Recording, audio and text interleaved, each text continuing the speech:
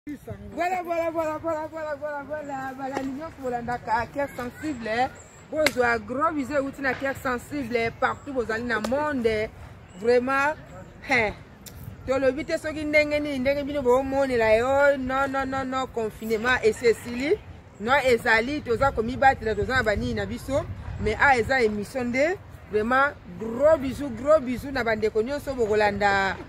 cœur sensible ah, napesi mbote na aime voka mwasa nzela mino otali mwasa okumisi nzambe ye avai na allemagne na ville ya arden eza basere oyo mpenza basponsor ya solosolo oyo ya cœur sensible soki yo oboyi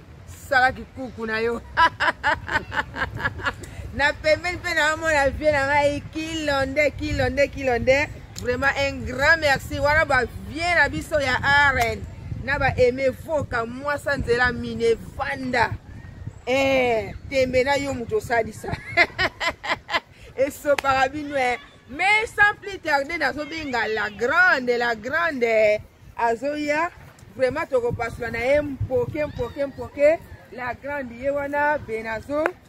oh, bonjour la grande bonjour cœur sensible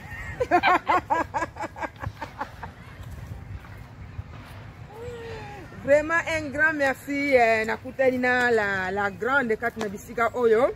Eh, la grande eh, boni ba santé en tout cas santé nzambe azobatela na ka moko naza surpris nayebi ete ke nakomona yo donc eh,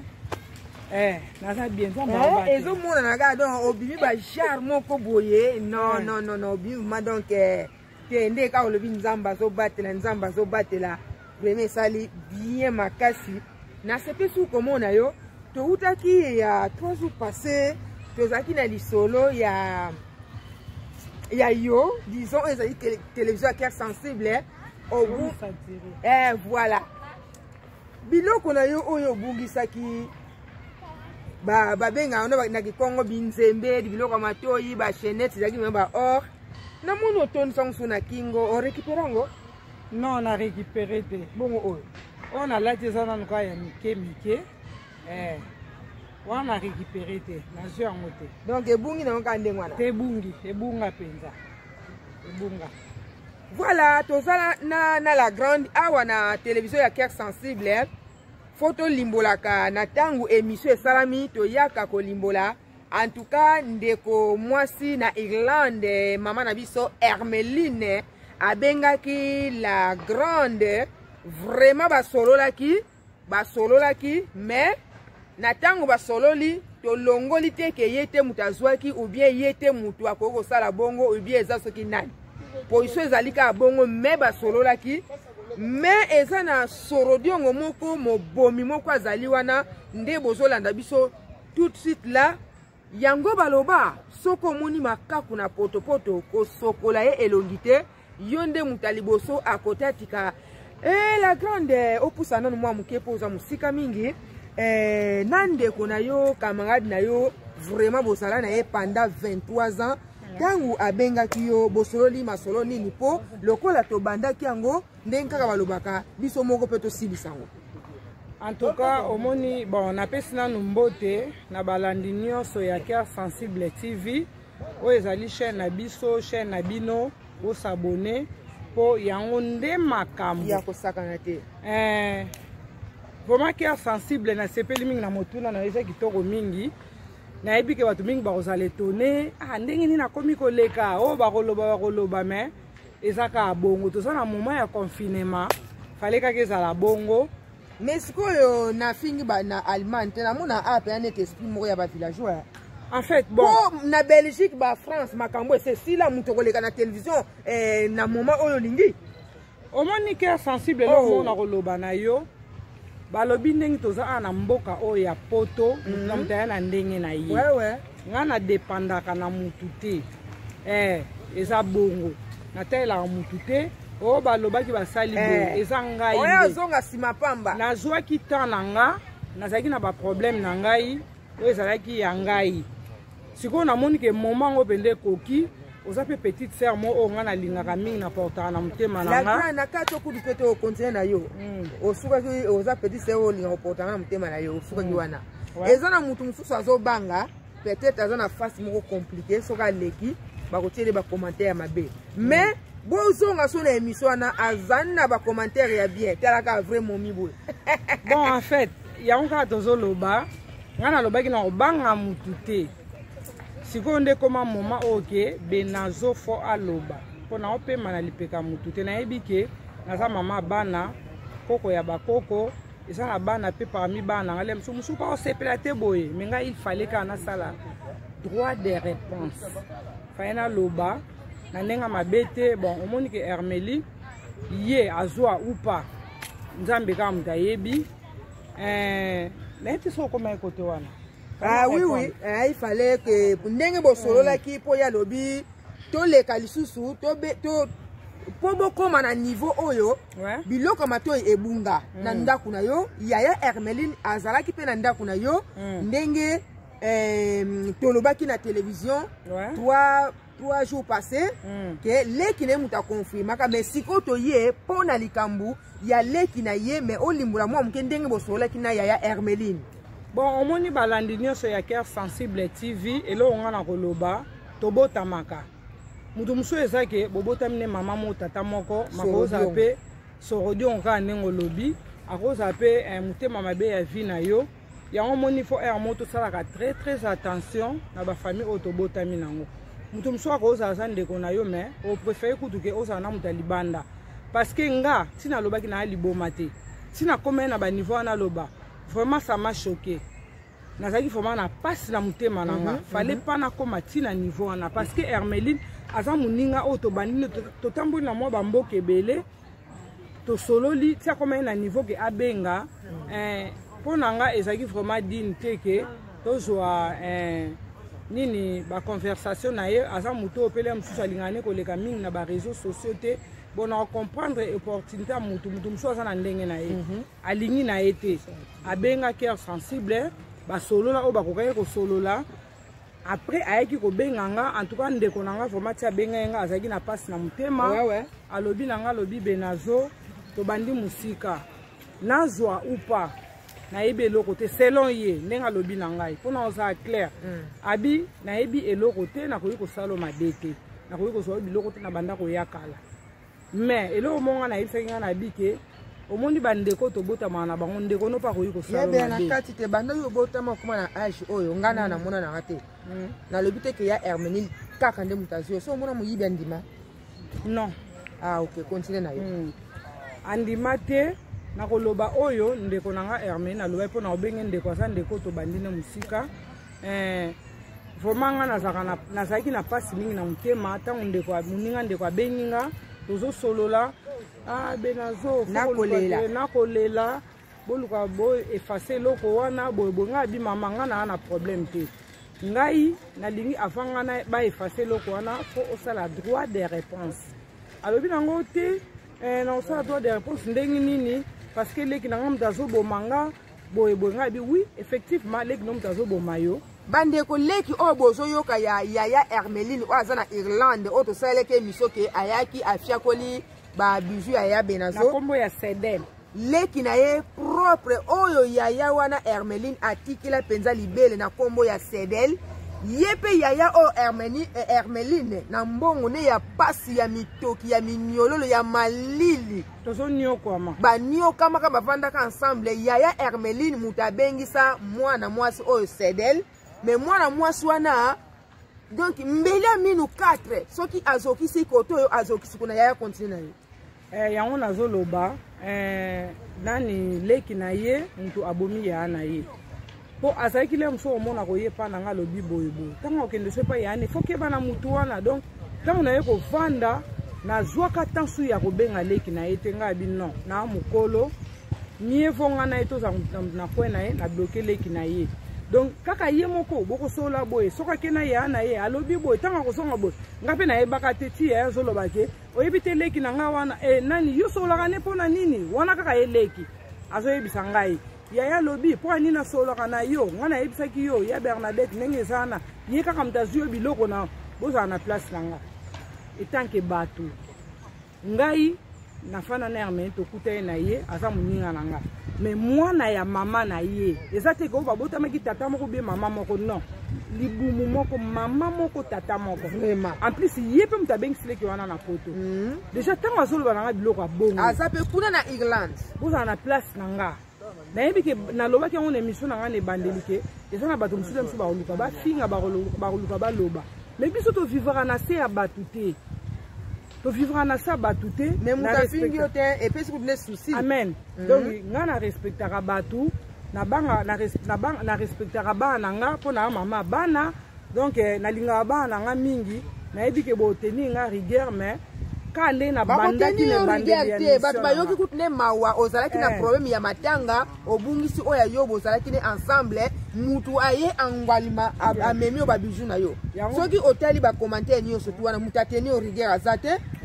voilà antuka baoyo basepeli na émission na ngai na bacommentaire na bino nasepeli naza vraiment aimé et puis naza touché mpo nakanisaki le mosusu mpo mokili elinga koloba ndenge balobaka ke ville ya arn partout makambo ezalaka ngai nakoloba te ke lelo nabima na ville oyo mpo bato baloba boye basala boye non nakosala yango te mpo nafandaka na ndako na nga soki nalembi nabengi bakoko na nga baye oyo alingi nga nalingi ye oyo alingi nga te je mambale mhm. kaka ndenge nazoloba wana donc eh, topemaka na sali peka motu te oyo alingi ngai nalingi oyo mpe alingi ngai te nalingi ye te yango esenga ete ntango basoli na cœur sensible il fallait kaka nasala susu droit de réponse ndeko na ngai hermeline alobi ke ye akosala droit de réponse te mpo akokana ni makambo oyo te soki mpe baoyo bakokoma na bacommentaire oyo te biso tozalaka na mposaki ya droit de réponse boyeboye na osala tu boyoka mpe voi ya hermeline mpo bato mosusu balingaka na bango systeme ya kobima na bareseau sociaux te namoni mpe nafanda mingi nazalaki na moto oyo nabandaki korespecte mingi alingaki mpenza teke makambo ya bareseau sociaux banini mais na ndenge ya mabe te ntango makambo yango esami fale kaka tomemela yango bongo sikoyo yaya natuna mwa motuna yaya hermeline eh, azali ndeko bovandi na ye ndenge alobaki na nga 23 ans ya kikamarade na bino mm. abi vraiment bovandaki mhm. malamu mais sikoyo yaya oyo eh, leki na ye oyo ya sorodiongo vraiment soki akobenga kia sensi benga no mpo ngai na banda réseau soso kala mm. nakutana na makambo ebele ebele soki obengi nga okokale no okoka no te mm. leki ne ya sorodiongo na nkombo ya olandaki mpe bavoice wana na nkombo ya ya sedel abandaki kosala boye aye ko yaya oyo abengisi ye oyo olandi ba voice oui oui yaya oyo abengisi ye na poto mwana ya mama na ye mama leki te yaya oyo abengisi na poto na ye bacamarade ya 25 ans mais leki wana awuti poto tout d'abord un kisoro diongo adiabolise grande sœur na ye na ketu moko boye euh, moi je ne peux pas imaginer eh, voilà tokoki koimagine yango te abandaki kosala boye yaya oyo aye na ya bernadette ntango bazalaki na congo soki eh, ye leki wana basolei na yaya bernadette akamati maloba ya yaya bernadette alobi na yaya na ye yaya asala attention na camarade na yo camarade na yo namoni aza malamu te soki mpe asoli kuna epai ya yaya aye excusez ayei epai ya bernadette ke en tout cas camarade na yo grande sœur na nga aza malamu te epuis babiju na yo obungisi ye kaka moto ayiba mpo afiakula mosusu na belgique ezalaki bongo te yaya ouais, eza bongo cœur sensible yango kaka nalingi na répondre na question omoni ti ndenge olobi bongo parce que yo olandaki bavoice wewe ouais, ouais. ngai naa na système te kesoo naosola na mutu na enregistraka no ezalaka mpenza malamu mingi te ngai mpe nazala na système wana te nakomaki kaka na nzambe donc neti kaka esprit moko ya nzambe moto etindaki ngai ke ah omoni mutu soki aza na système eloko na koyebisa bino balandi nyonso ya cœur sensible tv soki omoni oza na moninga moko azoyaki epa na yo ah ndenge eza wana keba na cœur sensible exemple napesi keba na motu kingandi keba na motu songolo topusa mwa moke nsima peut-être tokoki kobima mwa éclairage esala nango eloko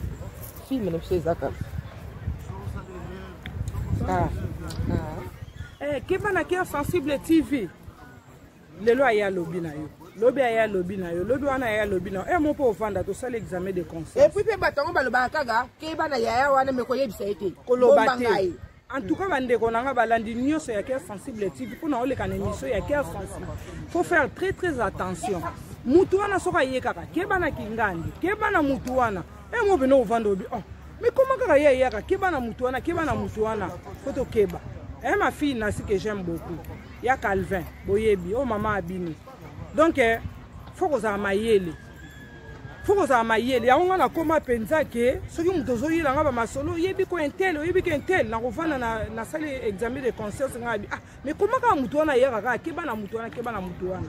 parce que ngai nde naza boye banda na ya na allemagne awa naa na bacamarade na ngai bamakopine eh, nani charlotte nani kati bato oyo ngai nayebi ke na mesana na bango mama natali bagogo bizu mm -hmm. mm, mama natali bagogo bizu de zigen eh, pardon de set bagogo bizu na yo nga motu na aya kotuna nga makambo te banda na ya na allemagne ah, na aken awa don na vivra bien na bato nyonso te aime voka nabosani yo te pire petite sa ya propre yo oyebi mm -hmm. eh. pire petite sœur propre yo oyebi donc euh, yaya motuna hmm, nazomona so totie na boye kaka yo hmm, kitoko ah, voilà aha hmm. me yaya bandeko bolingela yango kaka bongo bocomprendre biso toza na moment moko ya confinement voilà. epuis mwa bafraîcheur un mot koto esali bodon yango tozopusa me yaya mm. na nyonso wana balandi ya care sensi bayoki mm. me ntango leki wana ayaki soki azali leki ya moninga na yo sake aza mpe leki na yo mm. na nyonso wana abandaki koyebisa yo eske obandaki kosolola na moninga na yo oloba ke tala leki alobi boyeboye pourkui boyeboyeboyeboye eske yo obandaki kozwa kaka oyo oh, leki azoyebisi ozokonsome oyebisi moninga na yo tobe ndeni bon en fait ngai soki nalobi ke nabandaki kosolola na moninga na nga en tout cas nakobima mpenza moto ya lokuta mpo nalingaka mpenza lokuta te eh, ebandeli na bandaka trouva yango normal et après dernier jour toyaka kosola na moninga na ngai ezalaka na mois de si je me trompe pas na mois de janvier so nabosani te antuka boye akoki mpe koexplize nga mpo nayebi kaka kolanda émission oyo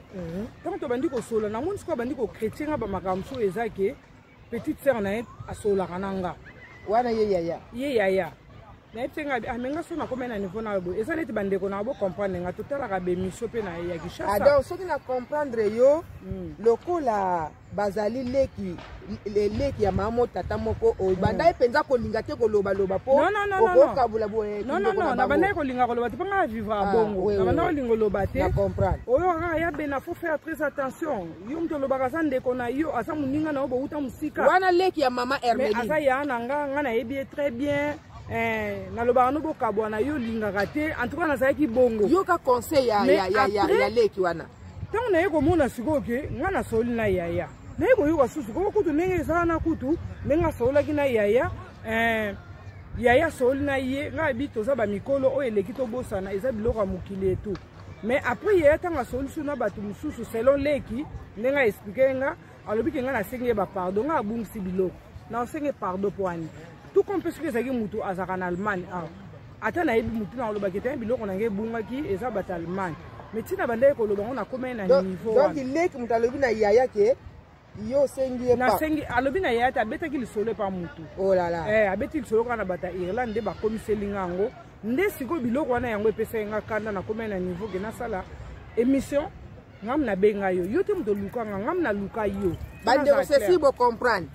eh, petite sœur oyo oh, ya eh, ya ya ya hermeline oyo oh, ya irlande oyo tolobi ke afuakoli babijou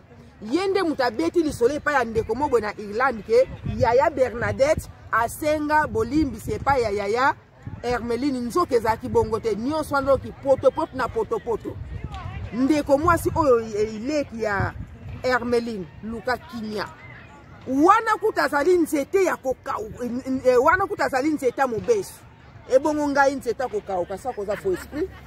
mais eloko moko nalingi naloba mpo koloba mingi bandeko si bakomprenaki ke nalobaki boye moya kokende hermene aza ndeko aza famille wi nalobaki oyo ezalaki na motema na nga soki ye moto azwaki yango gloire a dieu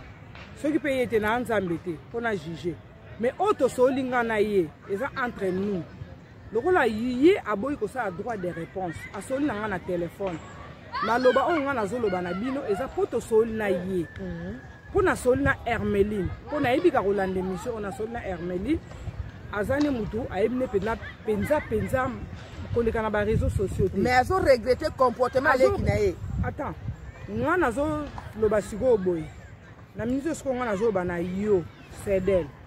natangi kombo na yo, leke Hermelie. Wana aza grande sœur na yo. soki ovivaka bongo lelo oyo biso tofandaka na bamboka bamboka songolo mhm. na otanga kombo te mhm. mais yano asala boye azala na susi na yo vraiment lelo oyo ntango yo ozoloba mabe ya ndeko na yo hmm. donc oza neti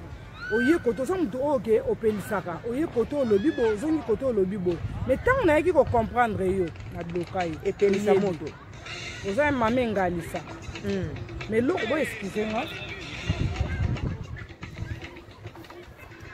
eza elongi ndenge eza eh, elongi eh, koko voilà tozalaki na mwa nini yaya continue obanda bapesa conseil na ndeko na eh. leki ne wana ya nkadi ya mpemba en tout cas yango wana nazopesa nde kaka napesi conseil na bino ya sedel hermai na mwana mama na yo mabe ata soki ezali biso nyokwami ya na bamboka tozalaki mpo babengisa ye na mbongo wana hermeline abengisa yo mhm. nazwi nao mpenza siko para hermeline mhm. etanke ndeko etanke famille malgré malgré ceder faut oluka ochange il faut oluka ochange nga soki oye osali obengi ke ya sensible na osala su droit de réponse ekomi kaka bongo to na 2020 2020 nakoma kokamwa na poto e okomona mama papa ndeko yaya asufri mpo abengisa motu motu wana kaka moto aya akoma enemi na, na, na, na, na poto na comprendre te na comprendre te ndenge bozomona yaya oyo eh, nani mwana mwasi oyo sedel enemi ya makasi na yaya na ye balobanaka eh, te balobanaka te naza kutu ya kokamwa kokende kotonga yaya na ye mikitisa wana aza grande sœur na yo omikitisa nzambe apambolo na makambo oyo oza yango besoin aza grande sœur na yo mpo na kotala boye namoni oza moto olobaka trop eh? nga na mokolo na mokolo na bomba ebele nakopanza famille na bino te mais amei nakoma famille na ngai spirituel famille biologie mwana mama okende oh, kuna ododi aloba eh, eh, nani ya grande sœur na ngai aza mwana mama na ngai ya bena so keba oya oh, pa ya bena so keba ya na ngai azali soro diongo oh, toza wapi nga nde naza boso obengi ke sensible olobi ko oyebaka na ye ti boyeboyeboye nabimisi soki soki ye te moto abengisaka yo na kinshasa kuna mbeso okoma koko na age oyo oza nango eza bien te yango kaka omoni oyo nalobi oh. oza mwana mayele ayokaka luka oyoka aza ndeko na yo nazongisi yo epai na yo fedele kaka aza mwana mama na yo luka ye bosolola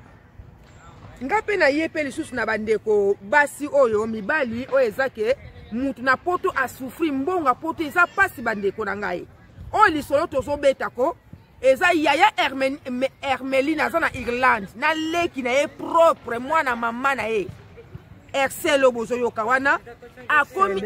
soki sedel akomisa yaya na ye mbwana niau me yaya ayebi eloko asala te azolelaka ntongo midi pokwa leki na ye oyo ya, ya mwana mama na ye kokende kotongaka ye partout pourkui mpo na nini soki bomoni ke makambo ya, ya bijou oyo ebungi ekóma na niveau ya réseaux sociaux leki na ye biologique mwana ya mama na ye ayebisa ya bernadette ke eza yaya na ngai moto ayibi yango puiske aza grand fakwa ata bino moko wana nzete ya mobeso ozosala ye boye bongo banzete ya kokauka yango namitunaki wana oyo ozosala boye azali grande sere na yo oyo abengi so na poto ndenge oza wana ndenge ozomela miliki ya poto ndenge ozolia bafrite ya poto ndenge ozolata bilamba ya poto ifale ozala kuna batindela ko bilamba oyo tobimisela yango bagaze totie na kati ya, ya karto eye kuna boye biloko ya boye vraiment nazalaki trop desu komona grande sere na yo azolela na kotonga otongaka ye na irlande mobimba ozotonga yaa na yo partout aza moyibi eza, eza bien te epuis kimoyibi oyo ya kala wana ndenge bato baya na ntango ya kala wana tokonta yango susu te puiske congolais na ntango ya kala na poto abandaki kosouffrir mingi soki moto abandaki kosala makambo na ntango ya kala sikoyo atika tokonta yango susu te eza neti biloko moko toefasa yango ndenge bible elobi oyo aye epai ya yesu akomi une nouvelle créature toefasa yango oui sikoyo yo obelaka yaya na yo partout moyibi moyibi moyibi sikoyo mutu azwi problème abungisi biloko na ye yango nayebisaki ya hermeline ke ya, ya hermeline omoni makambo oyo olobi ke ozoyoka yango ni chaud ni froid me tika ete ngai nayebi soki ere sensible nayoki voi moko ya jeune fille nu na ndako na yo ngai moko mpe mwana oyo ya ngai moko soki aleki na réseau social alobi ke nde bomonaka mama na ngai cœur sensible wana azali par exemple ndoki bato bakondima ngo ya 99 pourcent mhm. mais sikoyo yaya abungisi biloko aza na mpasi na motema yo oye obeti sete ke grande sere na yo moto ayibaki en tout cas nasepeli na yo ata mokie te ngai naza ke sensible nalobaka likambo oyo esali ke nasepeli na yango te donc oza leki moko yaya na yo ozosala ye bongo bongo yaya motu mosusu oza vraiment motema mabe tika ete nayebisa yo natielo mai na monoko te oza motema mabe oza vraiment motema mabe nayebiso yaya na yo aza kutu na azozala na mposa te ke abenga yo ayebisa yo eloko aza na mawa na yo alingi ayebi ke mwana mama na nga aza kaka ndeko na ngai soki nalobi boye akozala na susi tala yaya oyo obengisa aza na susi na yo me yo oza na susi ya yaya na yo te kotekaka yaya na yo partout partout partout oza vraiment motema mabe oza mpenza motema mabe nabengi yo mpenza motema mabe donc na place naloba ke oza euh, nani oza sorodiongo nkanya mpemba oza mpenza lucifer voilà e eh, bandeko soki bomoni ke sensible aye mabe boye puiske biloko ya boye na poto eza mingi eza na bato ebele bazobengisa bato na poto bazozala desi okomona kaka motu oyo amoneli mpasi ya hermeline wana azalaki aza bitekateka tekaka bitekateka na ye akokangisakangisa bambongo na ye neti ya bernadette alobi ke azalaka mpenza ya bernadette azalaki na susi ya bana atikaka ye azalaka na susi ya baleki me abengisi yo leki eza lokola makako bakutaki na potopoto moto ya liboso ozoswa na kati ya irlande eza ya hermeline en tout cas toza vraiment trop trop desi na ndenge akosakana te vraiment toza desi na comportement na yo bandeko oyo ya kotenir quelque sensible rigueur mikolo nakomi bongo tenir na yo me ngai nalobi ke biloko ya boye ezozala tro na poto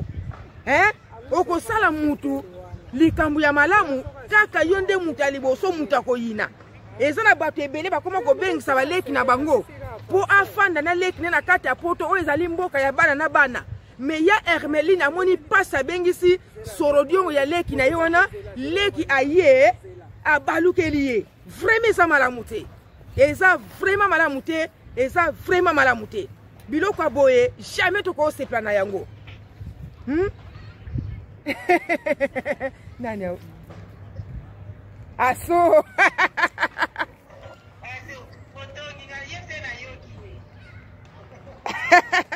biso to biso tosale tosala emission ya hermeline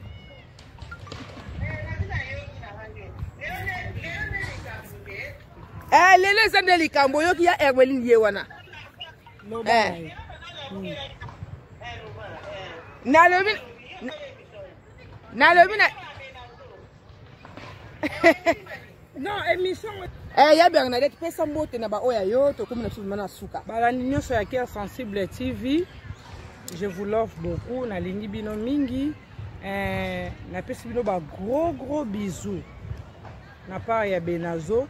napesi papa leki na ngai vie beros na kati ya autriche ba gros bisou eh, matete matete leki ya motema leki na nga moko ah, na mele na mele hey, na kati ya eh, mele gi malela okolobaka kiasa so opesa nga napesi hey, eh, toni mukoko na kati ya mele mm, bendele kweya matete na mele hey, mm. matete na mele leki na nga moko ya motema Eh. wana ya mboka grande sœur na ngai Gislaine Mpungi malgré na pesi na retard comprendre nga tozalaki bato ebele noka bana na kati autriche mm. ya yo yango oyo oh, ya na yo ya benazo donc eh, biso tosimbi masolo yango biso bato fo tobundela bendele ekweya te oyo aza leki na nga propre mm. ye yo na motema Eh, donc eh, na na minga oloba te ba on atangi ba kombo te abo comprendre. Paul eh. ke valo apesa kombo te. Ya confinement nani noko abana kasi noko abana te noko abana yango nalobi paul kevalo ah, bagrogo bizu na yo omoni petite sere akorige nga mpo nayebi ke noko abana kaka ndenge osalaka emission olobaka noko abana voilà. eh, bendele kweya te mm. tosimba kaka tobongisa kaka tobunda kaka mpo na mosala ekende liboso biso soki tosungi petite sœur te maa trop nao na kati ya ville ya aken e eh, bagogo bi santos de gira gisele ma fille que j'aime beaucoup mm. yayo yango wana nao na mingi oloba te mpo leta tokobanda osala kaka bambote ekobanda ozalaka oyo natangi te antuka aluka mokili vraiment tokomi na biso na suka christian mon fils eh? mon fils ke ha, mm. yayo yango ata oso oboyi mama oyo aza kaka mama enga na mai voilà soko aboyi kosukola komela hmm. eh, en tout cas tosuki na biso awa vraiment nazalaki na mpasi na motema na bacomportement oyo tozolobela ya kozala na kiengratitude ya makasi boye quand même na ntango yo olingi osala moto mabe moko boye songolo kanisa te eloko moko ya mokie mais tolobi na ndeko ayoki vraiment tosuki awa bamerci ebele na bandeko tu bokotala cœur sensible eh.